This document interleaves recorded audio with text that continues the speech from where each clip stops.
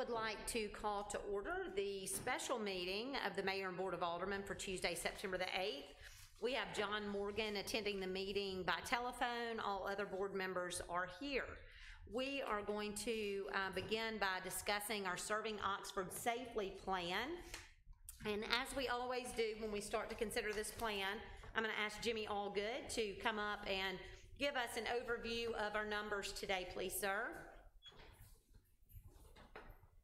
Okay, uh, for today, the numbers that came in, uh, we're sitting at a total cases for Lafayette County of 1,791. That's a uh, 13, uh, 13 case increase over yesterday. The state's cases came in today at uh, 249 total and with zero deaths. First time since March that the state has had zero deaths. Uh, So that, that's our basic numbers for today. John Morgan has just reminded me that I did not have you all adopt the agenda. So I'm sorry, I got ahead of, was that you or John? Um, so it's not on the agenda and I missed it. So could I have a motion to adopt to the agenda as it's printed? So moved. Second. All in favor? Any opposed? All right, sorry, Jimmy. Back no. to, um, back to Jimmy. So we've had a total of one thousand seven ninety-one today. Correct. To date. To date. And we had thirteen 13 new Today. cases today. Okay. Uh, The, the one thing I did want to point out in the past 15 days, we've increased 614 total cases. Uh, That is a 34% of our total cases that we, have we have went up in the past 15 days. So, so a little bit over one-third of our cases have came in the past 15 days. And Jimmy, the um, figures. Hey, that Carol, we're- would you mind closing that door? It's so loud in the hallway. Thank you. The figures that we're looking at in the New York Times, which everybody is talking about, are, are those accurate? They're talking about Oxford being like third in the country with the percentage of, With the percentage, eh, eh, yes, ma'am, uh, they, they- they're correct on that, We're- eh, as far as a hotspot goes, with the number of new cases, based on the number, on the population, uh, yes, ma'am. The state overall is going down. right? We, as a county, are going up. Yeah, we But are the- as a county, but unfortunately, the New York Times is printing it as Oxford, Mississippi. Yes, ma'am, and, and, and they, and we're not, we're not broken out. Which from is the not county. correct. That's right. with a population of 54,000. Yeah. Correct. I mean, So- But they're correct. not saying that, so it's the county and the university are, they're not. Correct, they're not differentiating, That, those are not included, but they are. right. That's right. It is. It's all of it. Um, hospital data. Um, it was updated about fifteen minutes ago. Um, I'm, have been waiting on it all day long. Jimmy and I have both been hitting refresh on that for most of the day. Um, as of this morning, there were ten people in ICU at our hospital. Our hospital has twenty-four ICU beds. There were ten people in ICU and six of those were COVID-related. So plenty of ICU beds available. We have a total of 181 beds staffed at Baptist Memorial Hospital, North Mississippi, and today 65 of those are available. This morning, there were 29 hospitalized with COVID. Now, I spoke with Bill Henning yesterday, and he stated that very few under the 29-year-old age bracket have been seen at the hospital. You know, that is where the majority of our increases are coming from, is that 18 to 24-year-old age bracket. He said very few of those have been seen. I was hoping to get to talk to him today to, to discuss, does that mean very few have been seen in the ER? Have any been hospitalized? I don't know the answer to that. I've seen a lot of people post that no one has been hospitalized, but I don't know where they, if that's their gut feeling or if that, um, if they have a fact that, that I don't know about. But, um, I wasn't able to get in touch with Bill again today to, to find out that information. But he did say that very few under the age of 29 have been seen at the hospital. Overall, the hospitalizations were down. For those of you who have followed along, um, a month ago, you know, we were talking about what's our weekly average number of people that are hospitalized with COVID each day. And for about a month, it was hanging at about in the 50s. Um, this week, it has been, uh, for the past week, it's been in the 20s. It's at 29 today but it is it is hanging in the 20s so even as we are seeing our cases go up as far as positive cases go up we are seeing our hospitalizations go down, which is trending along with the rest of the state Correct. as far as our hospitalizations go. So it, you know, and I think that that is just a direct relation to the age group where we are seeing these large increases. Um, I have gotten quite, quite a few calls, as I'm sure many of you have, emails and social media comments about the University of Mississippi's bid day activities. Anybody who has seen social media in the past day or so has seen large groups of people without masks on, hugging each other and getting their pictures made with their arms around each other. And um, Chancellor Boyce called me this morning. The university had a meeting about that, and and he was very upfront. And he said, unfortunately, um, a university official apparently granted permission for those bid day gatherings to happen. And he was disappointed, and I shared with him that we were too, that this community has worked so hard to um, get a plan in place, and the members of our community and our businesses have worked so hard that, you know, those gatherings were in violation of the governor's order, not, not anything that we've put in place, and they aren't in the city, so it wouldn't, it's not things that we've put in place, but they do violate the governor's orders, and he, he was sick that it happened, um, as you can imagine. We did talk about the social gatherings and how the Oxford Police Department continues to enforce the requirements that we have in place. They have written 42 citations for people violating the social gathering requirements since August the 18th. Chancellor Boyce, um, the, the university has provided those names when students violate that social gathering policy. And um, Chancellor Boyce told me this morning that student conduct is calling those students in, and there's a fine and an education program associated. If anyone is found to have um, a second violation, then um, the they've not had that happen yet. But if they did, then they would consider suspending that student. Um, so that that's where we are there. Uh, the university is a great partner to us, and unfortunately, really dropped the ball on this one. Um, so, like I said, 42 violations since August 18th. So Janice was talking to me yesterday about this example, and I thought it was so good that I want to share it because I think that part of the issue that we're dealing with, and I feel like I'm just a mom wagging my finger at people all the time, and I, I hate that role, but I, I do believe that we are at a place, and I've said this numerous times before, where I don't know that further restrictions are making a large difference. It's personal behavior that has to come in to make this difference. So let's say the students, I think, are not, they most of them, by all reports, are asymptomatic. And so they don't have the concern that a lot of people have about getting it or about spreading it. So if an asymptomatic person goes to a party at someone's condo, they don't know they're spreading it, they're asymptomatic. They give it to somebody else at that party who is also asymptomatic. Well, that person goes home this weekend to see their parents and their family, and their Aunt Sue comes over to visit. And that asymptomatic person gives it to Aunt Sue. And then Aunt Sue goes to work at the VA home.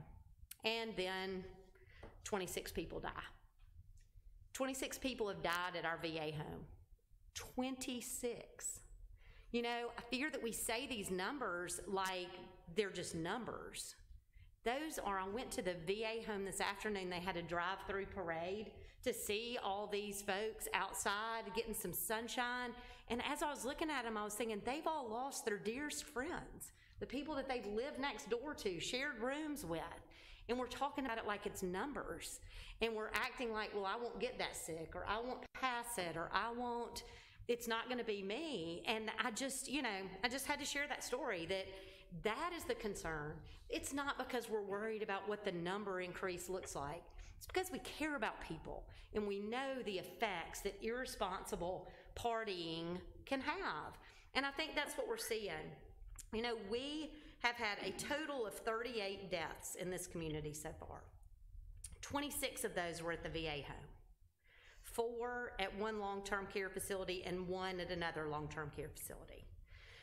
So we have gotten quite a few emails um, from people saying, "What are you going to do?" And I've gotten lots of social media comments and things, and I know many of you have as well, saying, "Y'all have to do something."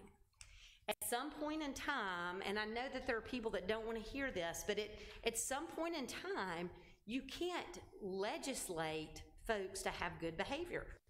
You can't force people to do the right thing. And, you know, I said this a while back, we can't make them care. We need people to care enough to do these things. And so, you know, I really, I hope that our student population, we wouldn't be this place without these students. We would not be. And, and so we so appreciate them. We'd be any small town in Mississippi if we did not have these energetic, enthusiastic residents come into, into our community. But we have worked so hard, and I want, I want to see us be able to move forward. Um, contact tracing is indicating that the spread of this virus is coming primarily from social gatherings. It is not tracing back to gyms. It is not tracing back to restaurants and bars. It's not even tracing back to the schools where everybody thought it would just, you know, be rampant by now. It is tracing back to large social gatherings. And so, as much as people want us to, you know, we've gotten, I know many of you have received as well, emails saying, please close down indoor dining. You're going to hear us today talk about expanding our dining options to outdoor. And that is what we're trying to do is find safer ways to provide that dining. But we aren't seeing cases traced back to our restaurants. So blaming and penalizing our restaurants and bars is, you know, it's easy for us to do, and it's one of the things that we have the authority to say, this is what you have to do. And, and But we're, we're our best example of that, our own best example. Our restaurants and bars were open for several months before the students came back, but we had enough student population here that they populated the bars and restaurants. And we did not see a spread coming from that. We did not see the spread until they came back and the out, off-campus, outside social activities begin. That's right, and, and, you know, it, it would be, it would be one thing if we, I don't think anybody on this board would hesitate to say, no more indoor dining if we were seeing it point to that as um, the place that it was being um, transferred. But, you know, the bars and restaurants are seating, I just want to remind our community, only at 50% capacity. There are social distancing between all of the tables. People are not allowed to stand and socialize. They have to be seated at tables. Um, and most nights, Oxford Police Department reports that it's not crowded. There have been nights that it is and that there are lines waiting. And we are encouraging people and requiring people to wear masks outdoors while they are waiting in these lines and to be socially distanced. But um, the, the contact tracing indicates that this spread is coming from social gatherings. Um, so, if we want our caseload to decrease, then it's going to take personal responsibility, which we've known. The New York Times headline today is Parties and COVID 19 outbreaks threaten university reopenings in the U.S. There's a list that the New York Times has been publishing about where, I can't remember the title, where is the spread or where. Hotspots, yeah, it's kind of, it's detailing, and Oxford is number three on that list. Carol went through the list today of the top 20 on that list. All 20 have a college in their town. It's because you have to expect these numbers to increase like that when you bring in here 15,000, other places probably 50,000 people to your small town or large city that come from places all over and have been traveling all summer and that, you know, that kind of thing. So it's not unexpected, but it is, um, it is concerning nevertheless. The good news for our community is that our healthcare system is tracking right along and people are not being turned away at the hospital and we are not close to being in that position. Um, we are not seeing the majority of our cases um, be very ill or even need hospitalization, much less ICU or ventilators. And, you know, a lot of people will say, well, people aren't even getting sick. Who cares? I mean, as long as they're not being hospitalized, you know what? Those 26 veterans at the VA home is why I care. And it's why we have to be diligent in keeping this spread down. So, um, the first thing that I would like to ask you to, some of these things um, different members of our community have brought up for us to talk through, and others are um, just things that either I've heard y'all mention or not, but the um, sign ordinance enforcement. We talked about um, a while back that we would start um, implementing our sign ordinances again on September the 1st. Um, and then we kind of all, I think, that's, that was the motion. Then we casually discussed, oh, we're not where we thought we'd be on September the 1st. We're still really in the middle of this thing, and there are still restaurants that some are doing curbside still, some have just started dine-in, and they need signage to tell that. Um, Michael Brown, our sign enforcement guy, has been doing his diligence and has been going around and talking to businesses.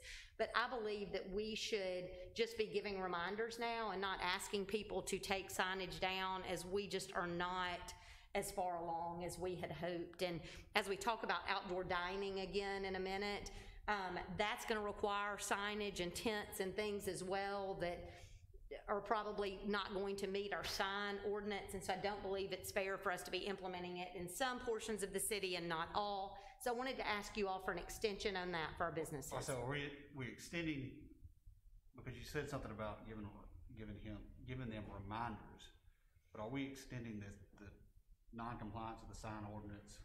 That's what I would like to do, is extend the non-compliance of the sign ordinance, so allow these businesses to promote however they would like to. Uh, let me remind you why we said we were gonna give them reminders, and then y'all, y'all decide, whatever y'all's pleasure is, is what we'll do.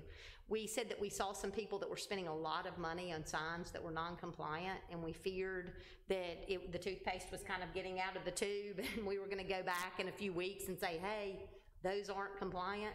You know what I mean? And so we were giving people reminders so that they would not go invest in more expensive signage that we were going to say, okay, your time's up September the first. Yeah. So that's why we had said we were gonna give reminders, but whatever y'all, however y'all want us to handle I it, think- just, I think for us, I think we ought to look at taking it to December first, that would get us through football season. Be good. Um, let's see, October, November, December. Well, if we're gonna go, if we're gonna do the, if we're looking at doing the outdoor dining option, um, I don't know what date then we need to extend it to at this point. Uh, I'd like to, why don't I'd you, like why to don't we extend say it till. December first now, and then if you decide you want it to go Yeah, I'd like longer, to- we can, but I'd that like gives for it to everybody. coincide With the outdoor dining. Mhm. Uh, Yeah, that would be good. No, that's LSU, it's at LSU. Last, uh-uh, it's. It's changed so many times, none of us can keep up with it. Twenty-eighth is the last. Yeah, And Mayor, what, what I guess, if there's a motion to that effect, it ought to be to suspend enforcement of, of those sign laws. But, and whoever says it ought to also be explicit about the concern y'all have, that this does not mean you should go out and purchase permanent signs, because this is not, we won't be grandfathering in those things. And that, y'all ought to just make sure it's clear on the Yes. record that just because you're suspending it for this period doesn't mean you're grandfathered in if you put in a non-compliant sign. I hope maybe, uh, you know, the point I at least wanted to look up here and remind you that this is on temporary signs, it's not on permanent. We have been continuing to enforce our permanent signage requirements. that's exactly what I said. There you go, there you go, that's what Jason said. Okay, so is that a motion, and is December first the date? Yeah, let's do December first for right now. Okay, perfect. I'll second, okay. Yeah, all in favor? Uh, Any opposed? All right. Um, all right, M-Trade Park, we'll do that one next. And Brad is here, and Brad and I have talked through this today, and, well, lots of times, but the latest today. Um, and Brad and Clay, I just want to thank them in front of all of you, first of all, because of the number of hours that they have put in trying to figure out how to safely operate so that kids can still enjoy sports outside. I'm not sure if the kids or the parents enjoy it more actually, but um, but the the links that they have gone to to figure this out and to diagram it and to publicize it and to work with the tournament promoters and planners and to deal with angry parents that arrive at the field and to ask people to put on masks when it's hot as heck and uh, you know I just want to thank y'all. I I've thanked them to them, but I want the board to know as well the work that has gone into this. Um, and I spoke with Brad this morning about, um, about M-Trade Park and upcoming tournaments. And you, uh, you know, that we, we all discussed last time, I think he had a tournament that was gonna be in the forty-team neighborhood, and he was talking about the way that he would do that, and, and we talked about limiting the number of teams. And I think you'll probably all remember the conversation that that's a very difficult thing to do, because what matters more is how many are in each age bracket at each of the quads, and is there a majors and a triple A, and a how many playoff games will there be, and those kinds of things. So we realized quickly that it really, limiting the number of teams doesn't give us the desired result. The, the desire for us is that we only have the number of people in that facility that is, can safely social distance and spread out. And so I think that Brad has a good plan. There are some large tournaments coming up, some tournaments that we inherited from Southaven when they closed their part down for renovations that are coming up. But when you compare those numbers and the way that it can be safely accommodated by limiting the fans that come, I don't believe you can, uh, you can think that SEC football is going to be, you know, with 30,000 people coming in, will be a, a safer venue. So anyway, I'll let Brad kind of give the, the way he plans on facilitating Yeah, well, thank you for those kind words, and it is like building a helicopter in the air, you know, when we're, when we're kind of doing this. Um, so we've met, Clay and I have met with Mayor and Bart a handful of times, and ever since we started these events back, like the first of June, we, we've tried a, a couple different ways, and what Clay and I have learned through this time is the, the safest way to operate the, these, these events is to limit the number of spectators that, that come through the gate. Now, you may have some sitting outside, but actually that come through the gate so they can safely social distance. Um, we've come up with a plan to where each team would get anywhere from 25 to 30 tickets per team, which is about a little bit, it's, it's close to a good team average. Um, once those people enter the quad, so that's only 240 people, spectators in a quad at any one given time. Now, our quads, and I don't know how familiar y'all are with, with the scope of our, kind of the footprint of our quads, and our smallest quad can easily fit Walmart Supercenter inside of it, so that kind of gives you a, a feel for it. Um, you know, by doing that, um, what we've seen is that when you limit the number of people in there, people can spread out safely, um, huge distances. And then we're also spreading game times out, so there's not this rush, you know, coming in. Um, so, and after talking with Bart and Mayor, we feel like that's going to be our route moving forward. Um, we feel it's a good plan. We feel it's the, the, the safest way to, to kind of facilitate our events moving forward.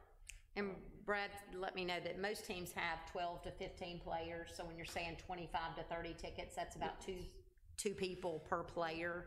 So um, that's where they came up with, we had talked about, you know, one of their first tournaments, they let in two, each person got two attendees or what have you, so This this is- works out to be very similar.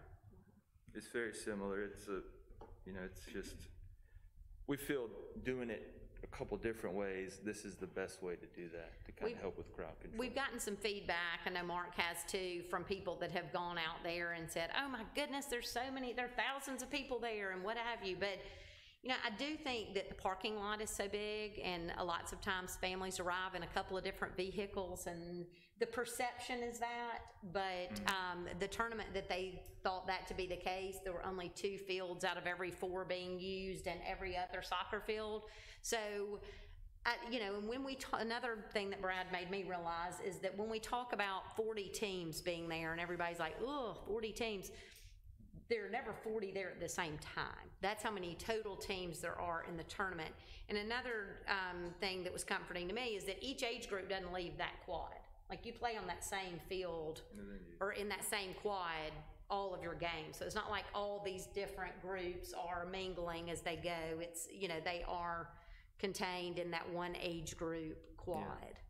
It's, um, you know, I have to, if you just sort of drive by and you're just, it's kind of like sticker shock, oh my gosh, look at how many cars, you know, you're spread out over a hundred acre facility.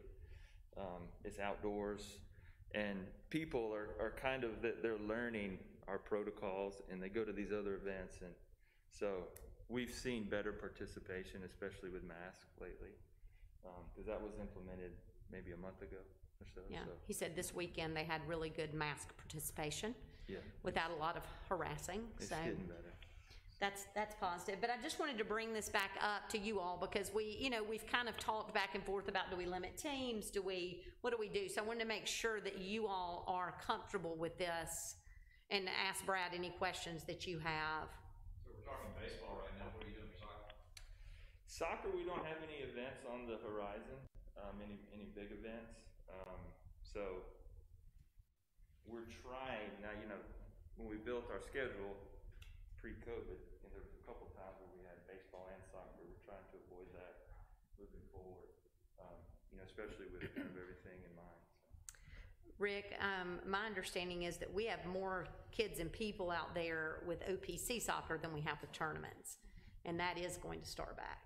Yeah. it's- So started that, you know, the, the soccer crowd with, um, OPC is really a larger crowd than, we do see that people that are from Oxford, like the OPC crowd, already know the mask stuff and the social yeah, distancing. We've already trained them, you know, They're so good. they're, they, um, actively participate, willingly participate. So, So one of the concerns, and I don't know that we could do anything about this, is the number of people that not only the, these tournaments are gonna bring into town, but the tournaments on the same day as the football games. Are, there's, we just need to know that there's gonna be a lot of people in town. yeah, the, yes, ma'am. There are, and You know, uh, I, I never thought we'd say this, but uh, half these people that are coming to town, they're coming from places that are doing better than Oxford. So it's not like the old days where we're afraid they're going to spread it to us. We have a higher rate here, is what I'm saying. Right. We, um, our goal is to be able to bring our businesses back as safely as we can. And I do believe that encouraging outdoor events like this is, you know, is the safest way to, um, return to some semblance of what we remember this time last year. So any other questions for Brad? Are y'all comfortable with this plan that he's presenting? If so, I'd like us to have a motion so that we know moving forward what the process is, because we've just kind of revisited it with each tournament based on how many teams and that kind of thing. I don't have a problem with it. I think it's a good, safe plan, and again, I think the outdoor activities are good and safe and is what we need. I'll, I'll make that motion to proceed with his plan. Second? All right, all in favor? Aye. Any opposed? All right, thank you, Brad. Thanks, guys. Um, all right, does anybody, I should ask this too, this doesn't regard tournaments, but anybody have any issues with proceeding with OPC events? Are y'all fine with proceeding there? We had said as long as schools were open, that we would kind of follow their lead on that, so, okay. Good. Um, and so we'll talk about restaurants, and we may end up kind of morphing into our next, which is discussing outdoor dining options for restaurants. But let's start with some of our Serving Oxford Safely restaurant topics, and then um, we'll switch over. Um, Bart and Kara and I had a meeting, and uh, several people from Visit Oxford came to a meeting with restaurant owners from the downtown area last week, and a lot of different questions came up. One that pertains to serving Oxford safely. Many of the restaurant owners um, asked us to please propose to the board that the restaurants be able to stay open until 11 instead of closing at 10. The governor's order states 11. Um, our order states 10, and we can be stricter but not more lenient than the governor's order. Um, you know, I talked to Chief McCutcheon about all of these parties that we're seeing. He said that really more of these were earlier in the night. They aren't people who are going to the bar and then leaving at 10. They're starting at this house and staying there, and the party grows. Is that a fair assessment, Chief? So, you know, I don't know, some of the arguments that I have heard are, you know, at least if they're at the downtown establishments, um, or any restaurant or bar in town, then they are having to go by, you know, the social distancing and they can't stand and socialize. Up to y'all. Um, that, that is, um, that's one I'm just putting in y'all's court to discuss. But the, the two things that they requested that we bring up was closing times and then if the board did not decide to extend to 11 o'clock PM, And I didn't give them any hope that that would happen, but it, it's totally up to y'all. Um, if that did not happen, would you all think about, um, home football game weekends when people are there and the, the last ESPN kickoff is at eight PM? So, you know, the game is not over at ten. Um, is it safer or not to push everybody out at ten o'clock? I think we, we need to leave the closing time at ten. You know, just the, the perception of our, our own citizens that we're backing up on, you know, a, a pretty minimal requirement for the bars and restaurants. I would like for it to stay at ten. I, I agree, uh, I think ten. Okay. I've already had COVID, so nobody freak out. Choking out there? Got a little Well, you know, choked. Got a from, little from choked. so- talking, from talking with some, some of the, uh, students that are my kids' age, people are not going to the bars as much as they were because of the ten o'clock closure. I, I, personally, I think the eleven o'clock closure may help us with some of the, uh, uh, with some of the parties. I mean, I mean, it, it's, I don't have a problem being more strenuous on our, uh, on our penalties for, for the uh, you know, for the house parties, but, but I actually think that we're better off having them in a place like that. I, I don't have a problem going to eleven. Yeah, that's, that's the one thing I'm seeing is that they're either not going to the bars and leaving, them or leaving the bars at ten and then going in social gathering. I've, I've looked at it on my phone, several different places where they're gathering at pools or Cotton Club at night and they're not socially distancing, so, um, and, and the one thing is, is, is the outbreak's not coming from the bars. I mean, not coming from the restaurants and the bars, and I think an additional hour to give these businesses some time to make money, uh, is something that is needed and welcomed. Well, Well, do you I- think if they close at ten, you don't think they, uh, I mean, the eleven, they'll still go out and buy it, if that's not too late? Well, but there again, it gives the, it gives the businesses another, another hour, because they're at fifty percent capacity, and we're, we, you know, the governor's cut their, cut their ability to make money even at eleven, um, and they've got, they've got, you know, it's a business, I mean, they need to make, they need to make money. I think we should stay where, where we are, like the chief said, the mayor said that, um, they're going to a party at seven o'clock anyway, so they're not even coming to the square, they're gonna party where they are, so I, I don't think we should, but we having, with us having an increase, I don't think it's time to start relaxing. Yeah, bar time and restaurant time. I agree, and, and a lot of what goes on from after ten o'clock is just drinking. People loosen up when, when they've had a lot to drink and the masks come off and the social, social distancing is, goes to the wind, so, um, I, I mean, I think we're safer at ten o'clock. I'm gonna make a motion that we retain the ten o'clock time. Second? all right, any other discussion? Yeah, I was just going to say something with the motion, sorry. I was, you know, just after speaking to some of the owners, if they're ordering at nine thirty, if they're ordering at nine fifteen, if they could stay till at least they finish their meal, maybe pick up alcohol at ten, I don't know, but, uh, kind of remade that motion. We, I think we, We've we've been already, doing that. we did that, yeah. yeah, we, we have been letting people finish in our dining establishments. Just Um, want that out if, to let everybody yes, know. sure. Some of them absolutely, absolutely. And Chief McCutcheon and I talked about that again this week. It, it- that is, Yeah, that's our downtown folks and those, um, that are enforcing across the community know that at ten o'clock, service stops, but that people are certainly allowed to finish their meals. And, and, and we will be able to accommodate that as long as people don't take advantage of it. But, you know, if, if we find that people do, then we'll have to be more stringent. But our, our goal is to let people finish their meal. You know, I, just want to make one comment before, we vote on this. Uh, the, the, Janice, what you're saying about is people get a little, they, they drink in and they take their mask off. That's nothing compared to what these people are doing house parties. There are no masks. I know. I mean, it's, it, it's not even, I mean, you know, it's not even I know that, compared John. to what's I mean, we going just on. need I know, okay. We need to manage everything, uh, you know, trying to deal with house parties and, and people drinking at the bars. I mean, it's just another hour, and it's a bad hour, is my point. People are finished eating. There's no more food service in, in most of the restaurants or bars.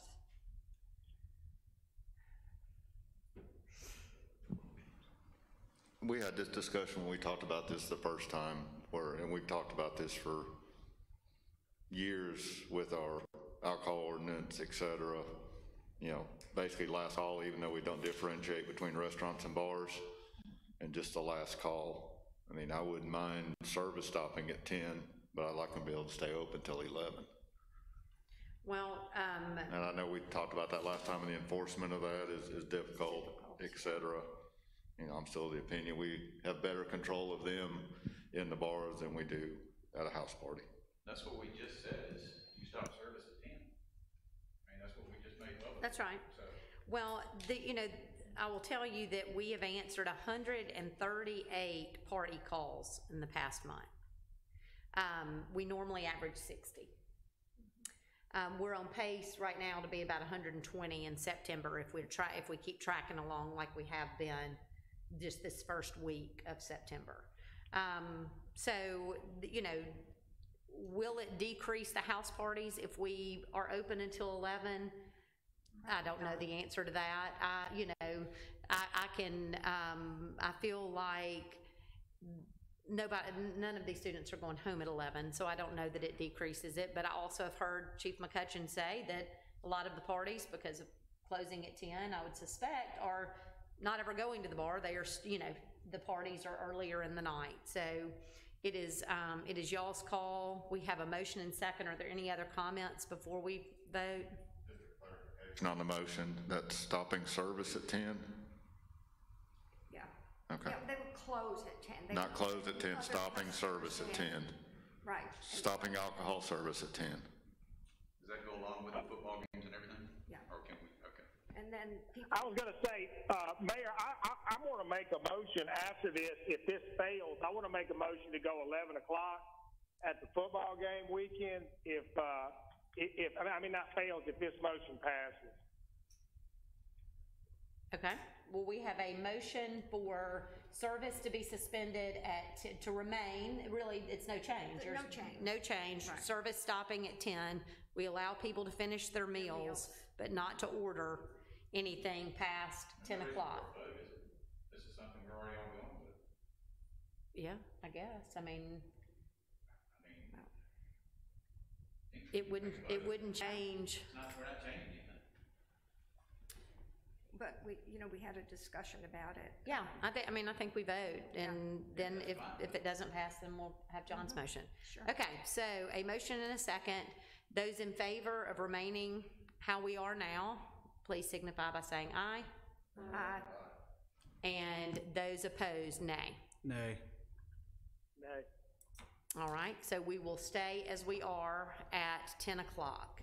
Um, Is there discussion regarding football weekends, or did you, did you say that's for? Yeah, I'll, I'll, I'll go quickly. I'll make a motion that we allow eleven o'clock on Friday and Saturdays of football game weekend. Second. All right, any discussion on that? Okay, all those in favor, say aye. Aye. Any opposed, say nay. Nay. Okay, so four to three, the motion passes. So the service is suspended after ten PM on, uh, continues to be the case on home football game weekends, on Fridays and Saturdays. Um, the closing time will be per the governor's order of eleven o'clock PM. Is that correct? Okay. All right, so um, now as we go into outdoor dining options, I think that's really all that goes along with serving Oxford safely. Um, The rest that we will um, address has to do more with our outdoor dining options. So you have a chart in front of you. These are the people who have, like I said, we had a meeting with the restaurant owners, and I, I want to reiterate that we are saying downtown restaurants because downtown restaurants don't own any of their own parking. Um, restaurants across the city obviously can do the same thing, but they wouldn't need our permission because they would be doing outdoor dining on their own property. So the reason that we are having this discussion and it only pertains to downtown is because they would have to use um, municipally owned property in order to facilitate outdoor dining. We found out, just as a quick refresher, that um, we could not make a donation of that property. We did ask for an Attorney General's opinion to see under a state of emergency if that would be a possibility. Um, we were told by the Attorney General it would be a 75-day turnaround on getting an opinion. We understand that by the time we received it, the whole potential for outdoor dining would have expired. It would be Christmas. So we um, moved forward with the only legal way to do that without an exemption by the Attorney General, which was to seek two appraisals and to average those appraisals, and then we adopted a resolution to declare those properties surplus. I'm looking at you, Pope, to make sure I get this right. Am I getting this right? Oh, we will adopt the resolution next Tuesday. Okay. We talked about the, the different issues surrounding it. Okay. So as we met with the restaurant owners, they posed quite a few questions that um, I would like to get y'all's input on now. Next Tuesday at our regularly scheduled meeting, we'd like to have the leases ready for these properties because we're, they're missing time when outdoor dining would be prime time. So a few things that I want to talk through with you all. We discussed um, at our last meeting that the rate um, would be $192.50 per month for each space. Those are based on the average of the two appraisals. We can charge more but not less than what the average of the two appraisals are, and that the average is $192.50. Um, a couple of issues to throw out to you. The first is we have several, or maybe just one, but that wants to rent for several different properties, who would like to offer outdoor dining only on Thursday, Friday, and Saturday nights. So I wanted to ask you all, we have, we have told them that our obligation would be to provide them with our metal bike rack looking barriers to define their spaces so that they would not have to invest in anything to mark off their space. And my understanding is that if it's for AB, that ABC requires them to have a designated area defined. So, you know, we ordered several hundred of those a while back. And so we will allow them to utilize those. And um, so several want to do it just three days a week. How, what do y'all think about that? I, I think it's fine. I want us to do whatever we can do to allow them to get outside because it's really a safer way for people to die. I don't see any problem with that. If, you know, if we can prorate the, uh, uh, the lease, the rent on the space. And you see what the, um, what the prices per day would Yeah. be. So, um, it'd be hundred and six dollars, hundred and six dollars and forty cents per month if they did that. So, um, I just wanted to make sure with you all that you were fine because that's not how we discussed it in our first meeting. Our, our agreement was to do it by month. So what I'm asking y'all, you know, one thing that the restaurants will have to know is that they're in charge of the setup every, th- you know, when they take it down and put it up and take it down and put it up. So, um, So are, will they take down the barricades and put them up or? are we they just- will, well, the first time we will go putting them out, but if they decide to do a back and forth, then they will Then they be do it, responsible for that. We, you know, we just don't have the manpower to do that every week, so, but we will do it the first time. And, uh, you know, and, I- and the reason I don't think it ever occurred to me to do it on a daily basis or what have you is, I was just thinking nobody would want to go to the trouble of setting up. I, I'm picturing them putting down AstroTurf and getting tents set up and different things that I can't imagine anybody wants to take that down and put it back up, but if they do, then so be it. So, um, anyway, just wanted to check to see if that was okay with y'all. And then Yes, the other thing, we are allowing other dining uh, establishments throughout the city to do outdoor dining. If they do not have an established outdoor dining area, they can use their parking lot for that area. They could do that now, yes. I mean, that's Okay, I their just want own, to make sure that, because you get a lot of, well, y'all allowing this squares, you're not doing anything for Absolutely. us, so. That's right. The, the people that are not located, located downtown have the ability to do that year-round. That is their property and they They can can, do that. they can say it's easier for them, they're on private property and it's between them. Yeah, but with the Their parking- landlord and ABC. Well, with the parking regulations, um, we just want to make sure that we're not violating that. I mean, because you have to have a certain amount of parking spaces for a restaurant, you have to have a certain amount of parking space for office. Fair enough.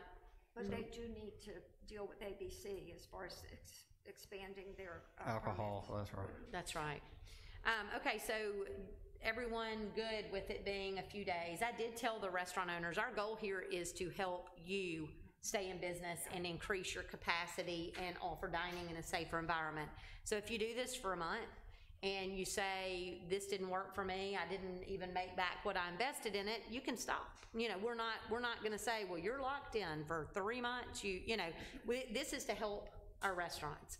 And so, I you know, I just want y'all to know that, that we may have some that give it a try and then say, that just didn't, my customers didn't want to sit outside. So, anyway, um, then we will allow it to be, um, several days a week if that is what they would prefer. And they are gonna move their, their barricades each time, or they will They will have to, or either they'll have to, I mean, I would be fine with them renting the spot all month and only offering it three days a week if they wanted to, but yes, they will be responsible. We just don't have the manpower to come in and do that every week, so.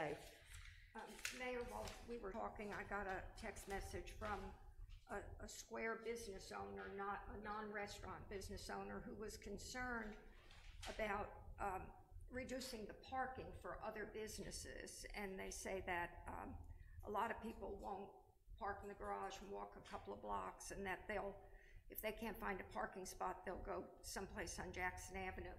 I think we need to uh, let these other businesses know that we're only talking about 26 Twenty-six, parking spots. yeah, twenty-six parking spots. Yeah, it's just not that many that, I think that's, they should be concerned. Well, we have had. Look at the position, if you look at the position of the parking spots, they're mainly right in front of restaurants. Right. Correct. I mean, it's, two, and then, thank you. Um, so y'all look at your map, if you would, and let me point a few things out to you. Um, and which goes along, if you'll just look at your map as we're having this discussion. Um, we have had, you know, you see the list here of the restaurants and bars who have stated that they are interested in doing this, okay?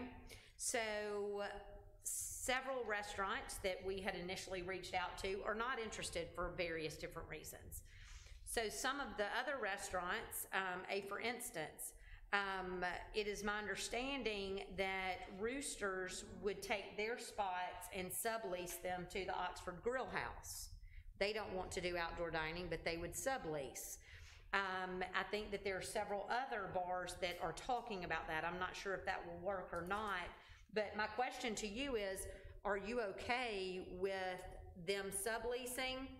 Uh, you know, one thing that we have talked about, what, what I, what I don't want to see happen is someone says, I'm subleasing this person's two spots, and then that person sees how effective this is, and is like, wait, now I want to do it. you know, I mean, I think that you would have to have that person sign off that they understand that their two spots are then taken. So y'all help me with that. That was one that I just couldn't speak on your behalf at the meeting. I need your I think the twenty-six spots are the twenty-six spots. so If somebody subleases their spot, then, I mean, let those two individuals deal with, not us. Well, The problem I'm looking at right here, I'd like to see roosters moved around on the side anyway, because you're blocking, yes, real House has moved down two spots. You're actually into three businesses there. Well, I'll tell you why we, why we did that. This is not written in stone. Any of this can move. So that, those are the suggestions we want you to make. Um, on that, uh, side street, you see if Julep takes two and St. Leo Lounge takes two, that eliminates that whole side of parking. If you put people on the other side of the street, it makes a very narrow path for a car, so it is much safer for us to move those to those other spots. And we believe that it's safer for them in waiting on tables to not be going to two separate areas outside for all four spaces to be together. So that's why we moved them, Rick. I mean, they, can- you know, we can be talked out of it, but that, just, that's the reasoning. I think you're just in front of three businesses right there, at least two and a half. It is the only issue I'm seeing. Every place else is literally right in front of the business, except for those four spots. I mean, you can determine that you won't allow people to sublease if you don't prefer to do that. Um, I think from a safety standpoint, it is safer for those, from what Jimmy and Bart are telling me, that's the safer option, but, um, Pope? Yeah, I, Bart and I have talked about this, and I've talked about this with John Mayo.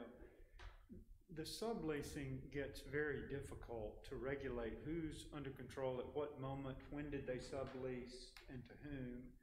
And a lot of landlords don't allow it, and if I were the city, if you want your two, you can have them. If you don't, and if you all wanna give somebody that third or fourth to another Okay. business, that's fine. I'm not, I'm not getting in the way of, of people having more than two, but I wouldn't do it through a sublease. Y'all keep control of it so that you've got attached to your lease that business's approved footprint for that four. No, that makes instead of sense. Trying to work through sublease of insurance. Yeah, I, I guess my concern then is the, then the guy could sublease it for more. Yes, yeah, then you start getting people who are trying to buy them up, or they're subleasing it for one night, for one party, uh, you know. Yeah.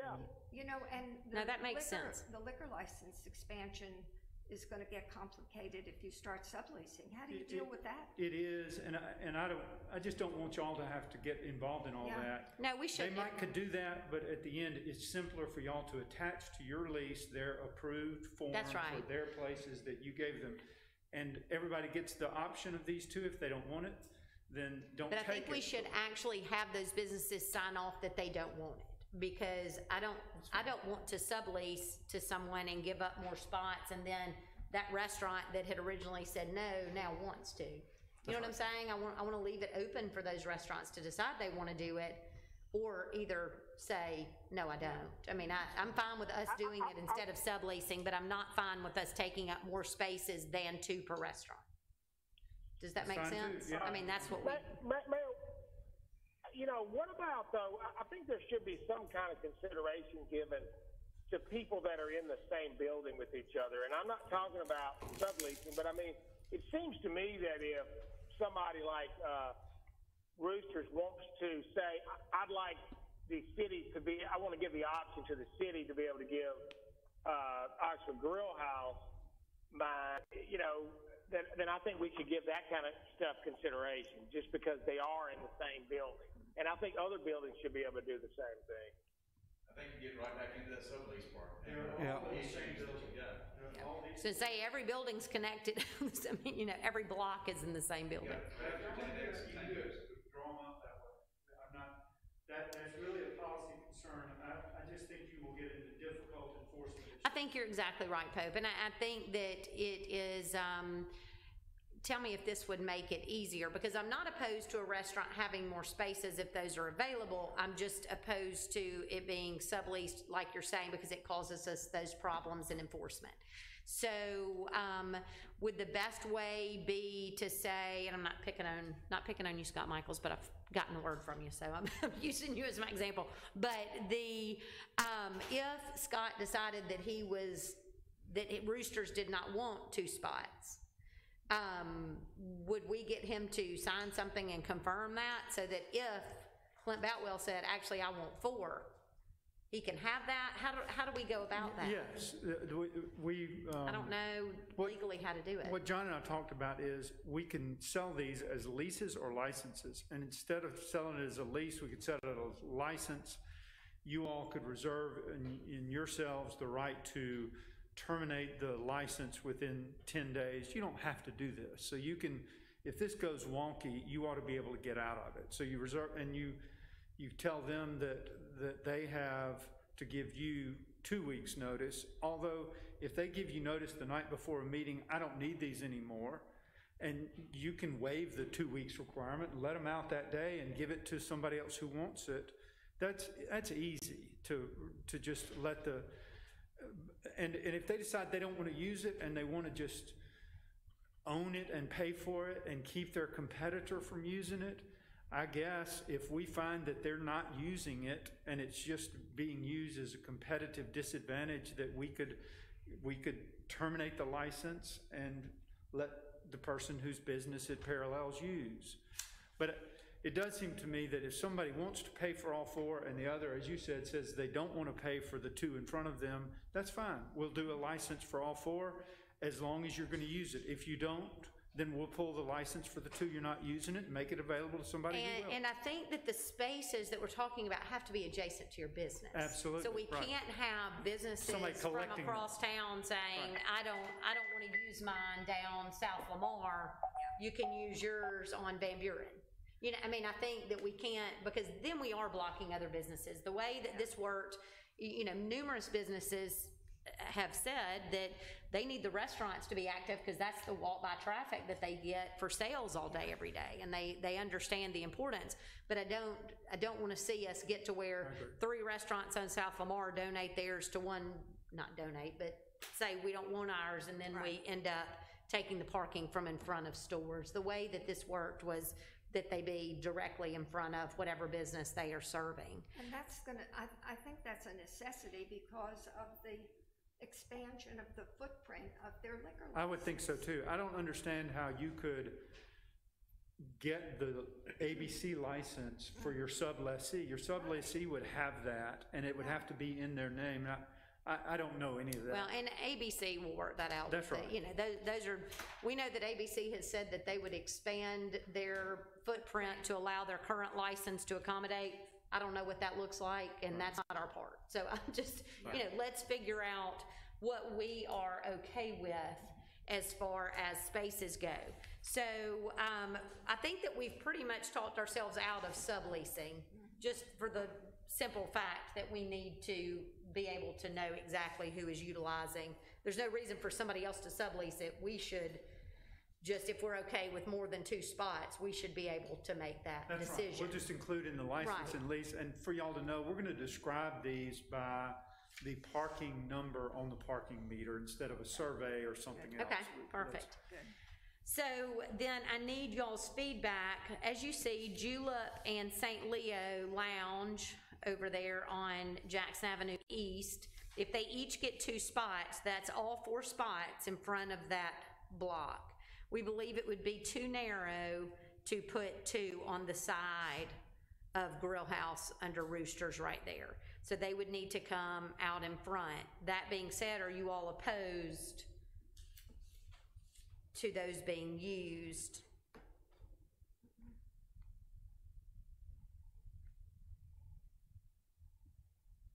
Oxford Grill House and Rooster. I'm not, because, because of the safety issues if we put it on the side.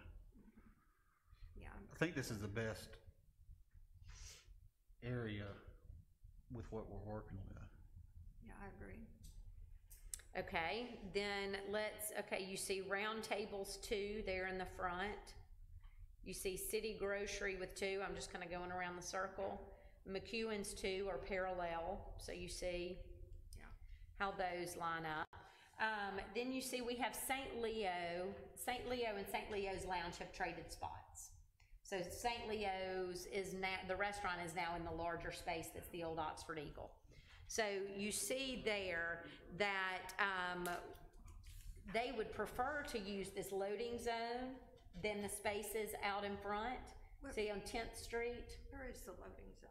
that, right where you see the blue mark, it's on top of it. Oh, okay. And so instead of being out front, they would prefer to use their side door and use that as their out, outdoor dining. And Mayor, just for the record, that loading zone, if used, still allows traffic in the. Oh, that's right, yes, and it allows, with, the reason it's backed up so far from the corners, because it's backed up enough that if it's left there seven days a week, that an eighteen-wheeler can still, a Turn, delivery truck can still turn there and go through, yes. So that is, um, that is where they would prefer to do it, which I'm great with, I'm just making sure y'all are. We have the cafe lights over that alley there, so it, it gives it a nice ambiance, and it also saves parking spots Sure. in front of the businesses that are right there. That would be the equivalent of two spots. That's correct. Mm-hmm. Sure. Is the, I guess the annex and Rafters, I mean, they're all good with uh, the loading zone being taken? I don't know that they, I have not asked them. I'm just thinking through loading zones, or when they're in and out of this. Yeah? No, I mean, that's a fair question. I have not, this is the, this map got finished about ten minutes before this meeting. So we have not looked at this map with anyone else, and we will do that between now and the next meeting to, so that as we do leases, we, we have that ironed out. But, Um, so here is another issue that we run into. We've heard from Lee Harris and he wants to. We've heard from Tangos who wants to. I mean, yeah, Griffin Tanner wants to. Rafters and the Annex are both Hudson Chadwick. He would like two for each. And then Griffin would like one for the cellar. Well, about where that 18 wheeler is parked, that delivery truck is parked on 10th Street, that's the entrance to the cellar is there. So uh, we had originally, he had originally said that he wanted them out here on Jackson Avenue East. Um, he also owns Tangos, but they're just, there are only eight spots there and there are four businesses.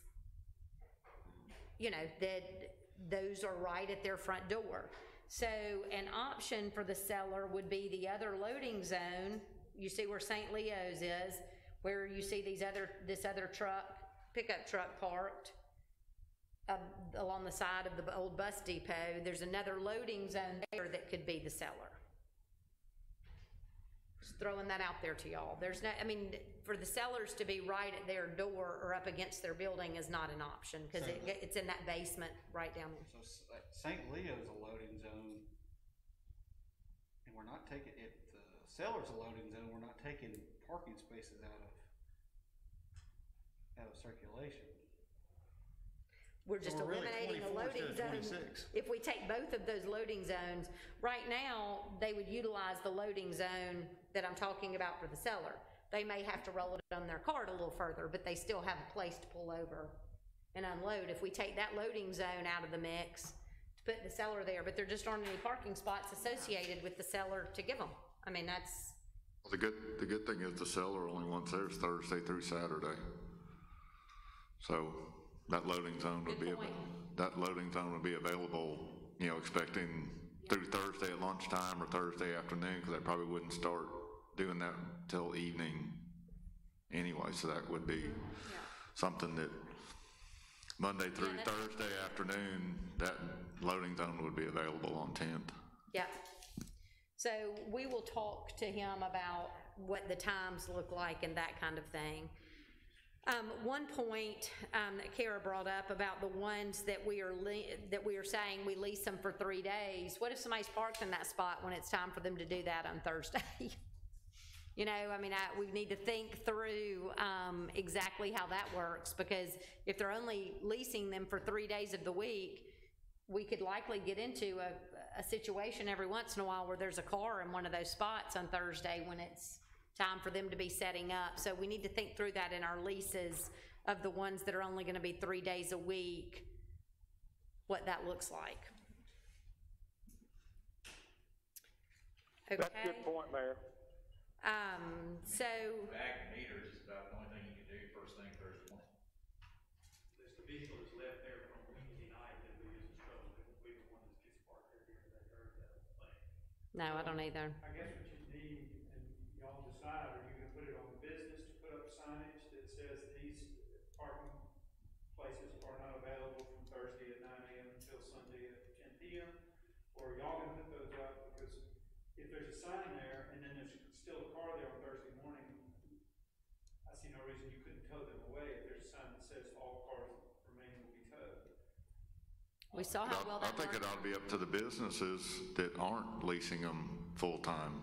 That burden should be put back on us, that the ones that are leasing full-time, the barricades will be up. So I think that ought to be, And can we get those signs made up and charge those as part of, if they want those signs? Yeah. Because you could put in the lease that a sign to be, you know, the contents of which the city will put the signage, but will also be a cost of the lease or license.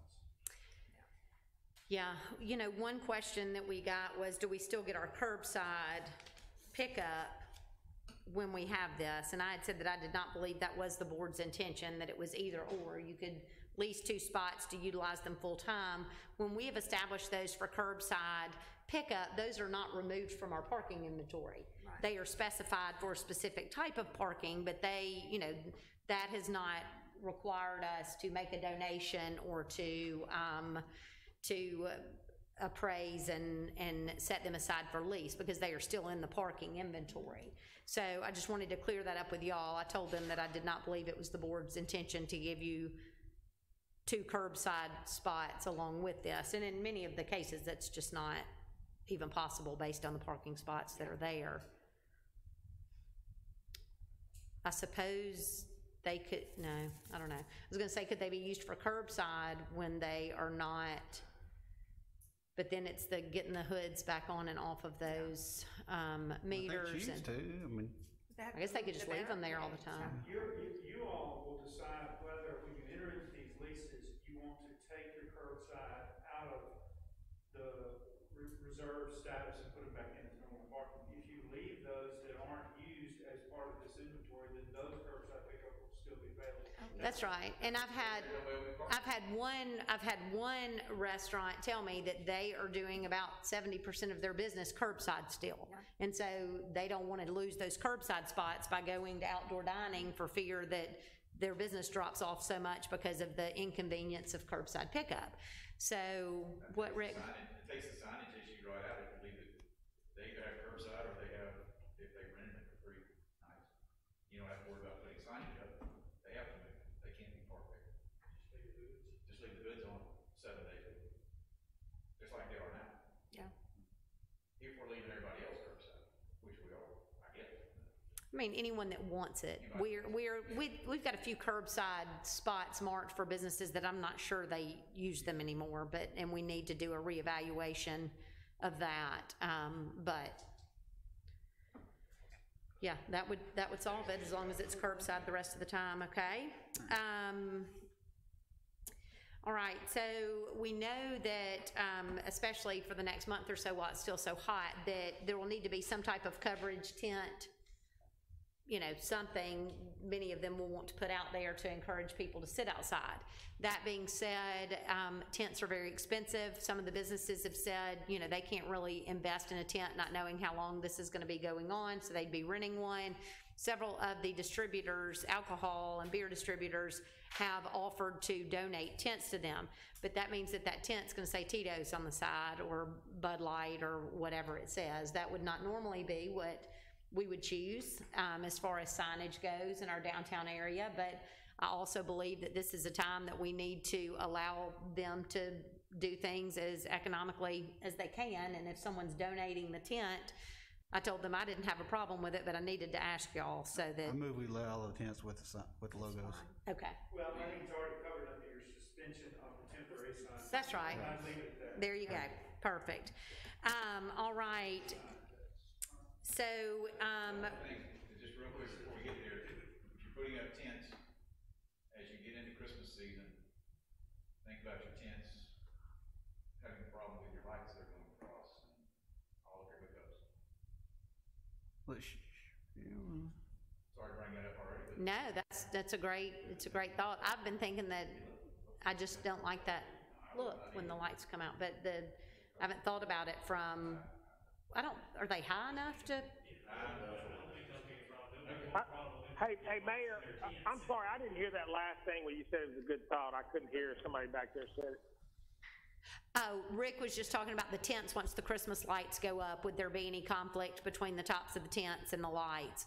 We don't think there would be, but, um, you know, that is one thing, once they put those tents up, it's gonna be dark under those tents at night without some type of lighting, so I don't know how that'll work. Um, okay, next is, uh, the only spot that I know of looking at this that is a handicap spot is the one in front of Funky's. There may be one in front of the grill house also, and I I Okay. I didn't do a street view. What we had planned to do, if it meets your approval, is put a handicap spot um, on the other side of the street, think so that's, that we're not losing a handicap spot, but we're moving it I it think that's appropriate.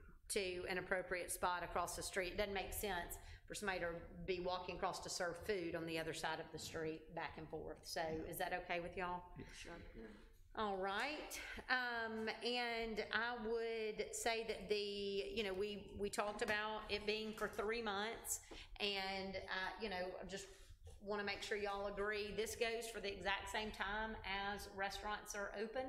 It is the same alcohol ordinances that apply inside. The restaurants will have to work out with ABC I saw some comments today by one uh, restaurant owner that was saying there's no way that ABC will allow this to happen. And, you know, we, we can't promise ABC is going to do anything, but they have insinuated that they would be, you know, amenable to exte- extending the already in place permit to a, a larger footprint. So that is, that is our understanding. We don't have any authority to make that happen. That will be on each restaurant owner to facilitate with ABC, but that, that is our understanding. Um, any other? Oh, the appraisal fee, remember that, um, by statute, we have to add the appraisal fee, one of the appraisals. Is that the average of the two appraisal fees, and then, Historically done is, ju- is added half of the appraisal fee or whatever it was we were selling. This instance, our appraisal, we paid twenty-seven hundred dollars for these two appraisals combined. So that's thirteen hundred fifty dollars for us, thirteen hundred fifty dollars for the restaurants. Divide that over thirteen uh, tenants, I guess you'd say, and that's hundred and three dollars and eighty-five cents per, per tenant. And so, based upon how many spaces are rented, you know, or leased, I think that is, that fee will have to be dispersed. Um, I think I mentioned this to y'all, I mentioned it to the restaurant owners, but I spoke to the wise women, um, not this past Friday, but the one before, and we were talking about ways to help our local businesses right now, and several members insinuated that they would love to see us do an adopt a restaurant program, kind of like an adopt a highway program, where they could help some of these restaurants with the cost of providing outdoor dining. So I'm hopeful that some restaurant owners will be connected with those folks so that they can get that in place, and perhaps that would be the first the first order of business is to get the, um, the appraisal fee out of the way. Anything else? Bart, have I forgotten anything? Okay. There will probably still be a, a couple of questions or options on Tuesday, but we will try to have some time for them before Tuesday meeting. Right, okay. Good progress. Yes, I thank you all for this special meeting. It will help us get these restaurants started more quickly. Anybody else have anything? I don't believe there's anything to consider an executive session for. Could I have a motion to adjourn? All in favor? Aye. Any opposed? The meeting is adjourned. Thank you.